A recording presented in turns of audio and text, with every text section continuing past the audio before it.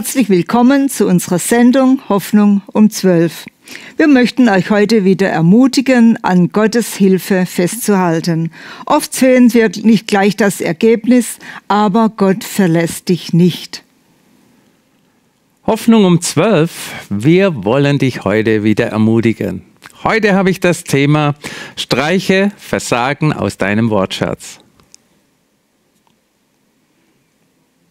Lass uns dein Gebetsanliegen wissen auf gebet.missionswerk.de im Chat oder auch am Telefon bis 13 Uhr. Streiche Versagen aus deinem Wortschatz. Ja, Versagen. Wir alle haben schon versagt und versagen bestimmt auch mal wieder. Aber Versagen ist wirklich auch eine Chance, etwas besser zu machen. Man kann daraus lernen. Viele sagen, ich habe versagt, meine Kinder zu erziehen. Ich habe versagt beim Job auswählen oder auch im Job und so weiter. Ich sage dir, gib nicht auf. Es ist immer eine Chance, es nächstes Mal besser zu machen. Wirklich Versagen ist, wenn man immer wieder das Gleiche schlecht macht. Aber das tun wir ja nicht.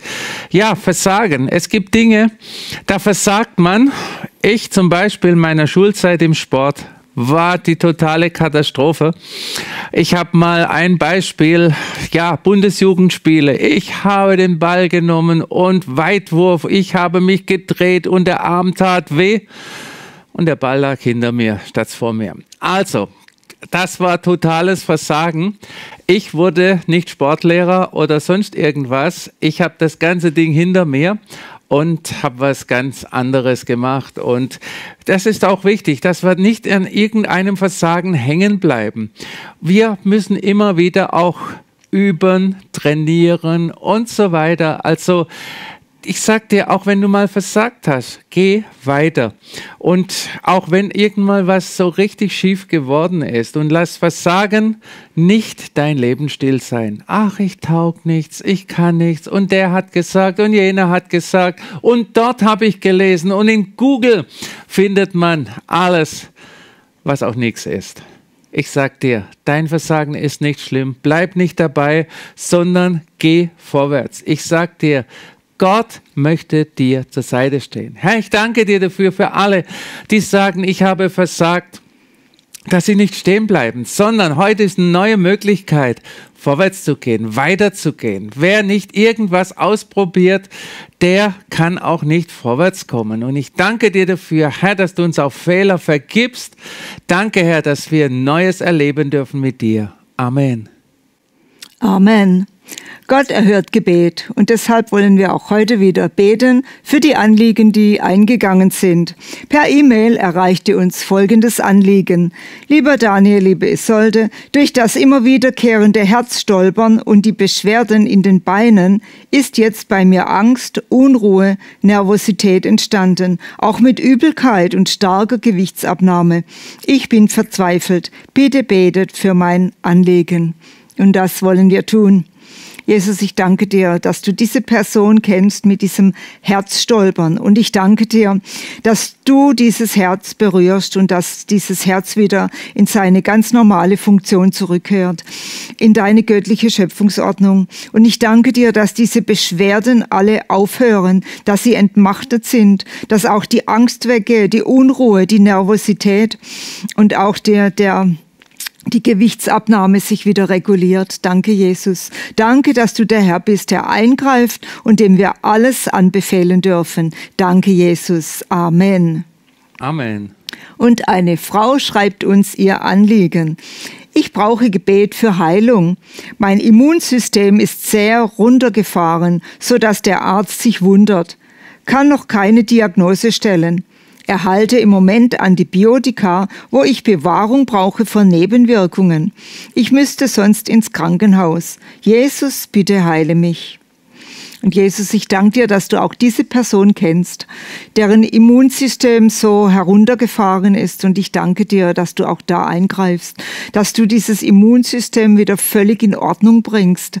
Danke, Jesus, dass deine schützende Hand über dieser Person ist und dass du sie berührst. Und ich danke dir, dass auch das Antibiotika keine Nebenwirkungen hat. Danke, Jesus, dass sie wirklich gesund sein darf. Diese Person in deiner Hand. Danke, Jesus. Amen. Amen. Schreib uns dein Anliegen oder ruf jetzt an bis 13 Uhr heute am Telefon. Und ein Gebetsanliegen auch als Fürbitte für alle, die an gleicher Krankheit leiden. Ich bitte um Gebet für Heilung von Parkinson und den damit einhergehenden Symptomen des Zitterns, der Schmerzen und des Bluthochdrucks.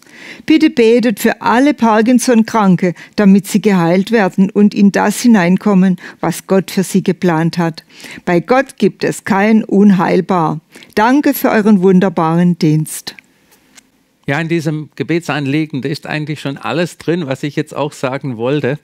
Bei Gott gibt es kein Unmöglich. Und wir wollen wirklich auch für all diejenigen beten, die ähnliche Symptome und auch Krankheit haben. Gott erhört Gebet.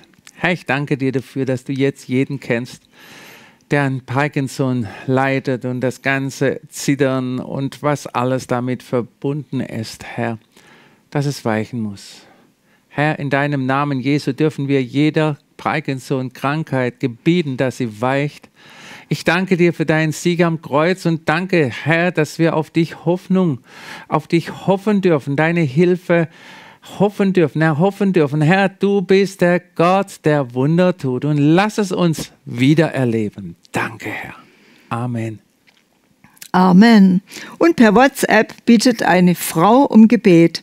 Liebe Geschwister, ich habe Muskelschmerzen. Es ist nicht klar, ob es rheumatisch oder ob eine Fibromyalgie vorliegt.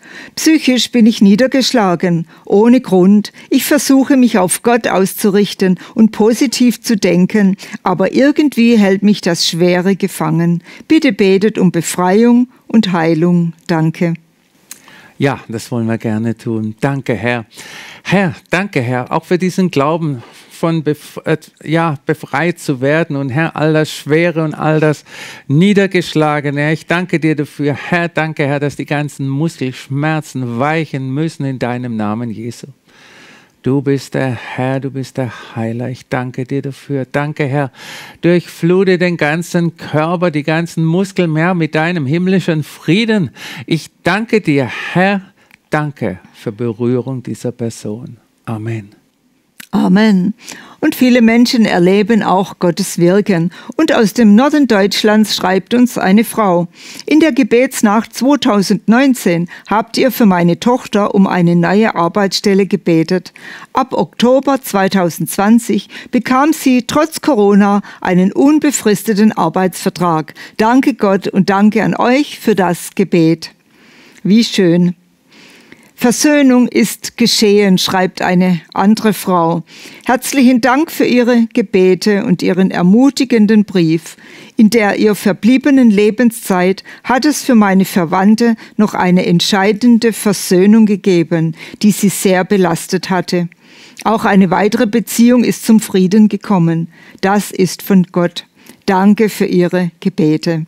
Und Gott kommt nie zu spät. Er kennt unser Herz. Und diese Frau kann plötzlich lesen ohne Brille. Und sie schreibt, ich möchte euch von einer Gebetserhörung berichten. Ich setze meine Lesebrille auf. Nanu, die Schrift ist ganz verschwommen. Ich nehme die Brille ab und lese ganz deutlich die Schrift. Danke, Herr Jesus, und an alle, die für mich gebetet haben. Auch meine Blasenschwäche ist geheilt. Danke, Gott, du bist so gut ja, wunderbar, wenn man wieder gut sehen und lesen kann. Mein Mann hat seine Lebensqualität zurück, schreibt eine Frau. Es ist etwas ganz Tolles passiert. Meinem Mann geht es schon sehr viel besser. Die starken Bandscheibenschmerzen sind zurückgegangen. Er hat wieder Lebensqualität und Freude am Leben. Sogar seine starken Medikamente wie Morphium konnte er bis auf Ibutropfen reduzieren. Danke, dass Sie für mich und meine Familie gebetet haben. Ja, und das, was Gott begonnen hat, das macht er auch zu Ende. Ist das nicht wieder wunderbar, was wir gehört haben? Wieder richtig gut sehen ohne Lesebrille und so weiter und so fort. Hast auch du was Wunderbares erlebt? Lass es uns wissen. Wir freuen uns, das anderen wieder mitzuteilen. Und den Tipp passend zu unserem Thema heute, überlege dir mal, wo dich dein Versagen aus der Vergangenheit begrenzt, wo du heute immer noch sagst, ja, aber. Ich hab's mal probiert, aber. Und ich sage genau dann, probier es nochmal und probier es wieder. Lerne daraus und du wirst es schaffen. Lass uns weiter dein Anliegen wissen, wenn du Sorgen oder Nöte hast. Wir beten gerne für dich. Heute auch am Telefon bis 13 Uhr. Wir hatten letzte Woche die Live-Sendung Gebet für dich live.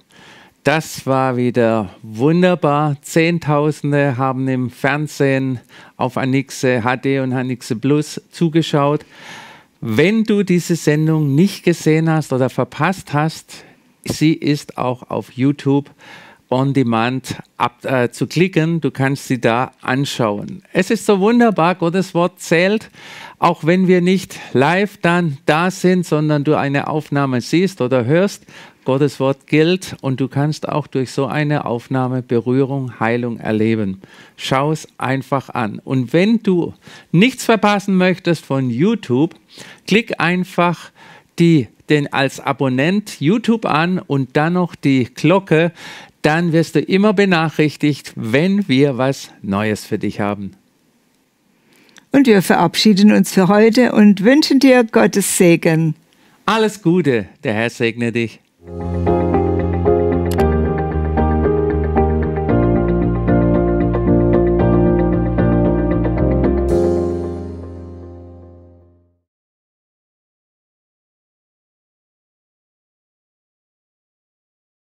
Wusstest du, dass du mit deinen Sorgen und Problemen nicht allein bist?